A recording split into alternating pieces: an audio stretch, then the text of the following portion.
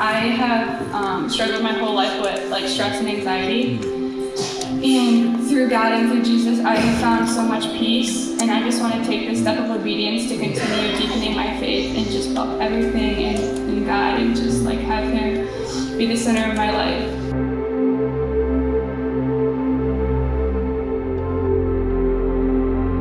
I was baptized as a child. I never really knew what it meant. I never really dug into the word until recently. I started digging in and learning and just knowing and understanding that I love Jesus and I live my life for Him.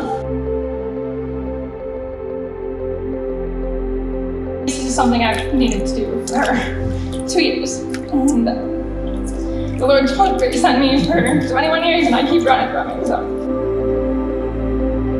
So I'm just here to declare that God is good and that He's my Lord and Savior and that I am actively seeking Him.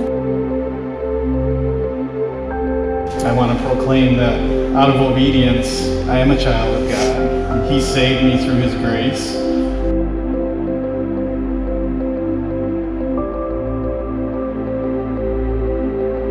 I was wandering in darkness, and uh, this is my step of obedience to the Lord, and I'm ready to follow Jesus. This is my next step of obedience. I just want to do it um, as a step of obedience. I really want to take that next step of obedience and be a child of God. I'm just taking this step in obedience to Him. I want to be obedient. You know what? I want people to know I'm a Jesus freak. I want to take this next step of obedience and just continue to grow. I want to be obedient to Him, and this is one way of doing it. I feel like I'm doing it out of obedience to God. This is this is what I need to do. This is me uh, being obedient. Out of obedience, here I. He is my Lord and Savior, and I want to live my life for Him. Publicly profess that the Lord has my life in my heart. I'm here to follow obedience.